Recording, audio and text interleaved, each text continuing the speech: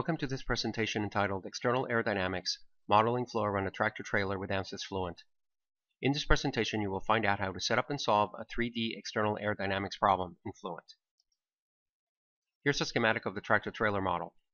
The tractor trailer is 48 feet long by 8 feet wide by 8 feet tall, and the fluid box surrounding the tractor trailer is 200 feet long by 150 feet wide by 90 feet tall. This model simulates the truck driving down the highway at 60 miles per hour. The model was built in ANSYS Design Modeler using primitives and sketches.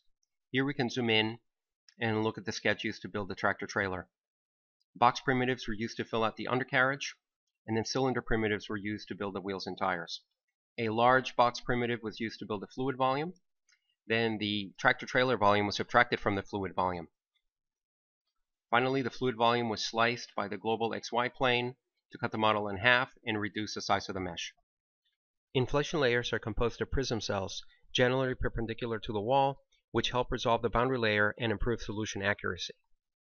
The first layer height of 2.5 millimeters corresponds to a Y plus of 150 based on the model's Reynolds number, which puts it right in the middle of the boundary layer log layer, which is where you want your first element to be if you're using the realizable K epsilon model, which we intend to. This boundary layer mesh is a little coarse, but given the mesh size limitations, there is little we can do. Let's zoom in and look at the inflation layers in detail. See it right there. Let's look near the cab.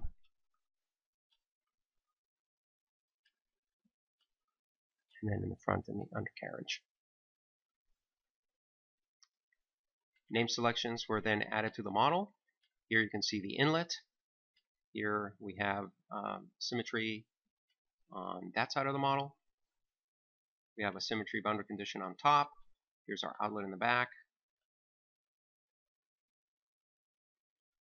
Then you have, um, that's the road, that's wall's bottom.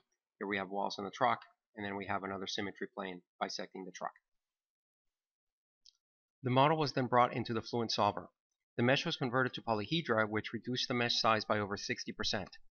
If you zoom in, you could see that the inflation layer is still composed of prism elements, not polyhedros. Going through the solution setup, the model was set to run steady state. The only physical model activated was the realizable K epsilon turbulence model.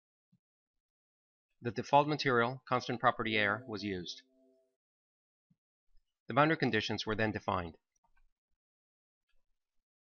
The velocity inlet was set to 26.83 meters per second, which is equivalent to 60 miles per hour.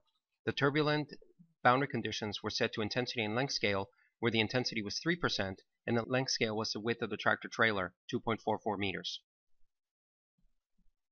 The outlet pressure was set to zero gauge. The default solution methods and solution controls were used. A monitor was defined to plot and print the drag coefficient as the solution is converging. Once the residuals all fall below 1 e to the minus 3 and the drag coefficient is essentially constant, the solution can be considered converged. The solution was initialized from the inlet boundary.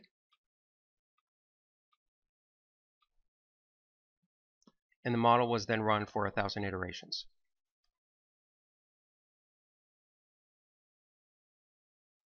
The solution is converged, so let's do a little bit of post-processing. Here's a contour plot of the static pressure on the tractor trailer walls. You can see very high pressure on the surfaces which are normal or almost normal to the flow such as the front of the cab. If we calculate the drag coefficient, it turns out to be pretty high at 0.97. Now let's look at a contour plot of velocity magnitude on the xy plane which bisects the truck. You can see how the flow accelerates as it moves over and under the truck. There's a large low-speed recirculation zone in the back of the trailer, as you would expect. You can also see that the flow separates over the cab and a large portion of the trailer. Finally, here's an animation of the flow streamlines going around the tractor-trailer created in CFD Post. The velocity of the streamline arrowheads is proportional to the local velocity magnitude. This concludes the presentation. Thanks so much for watching.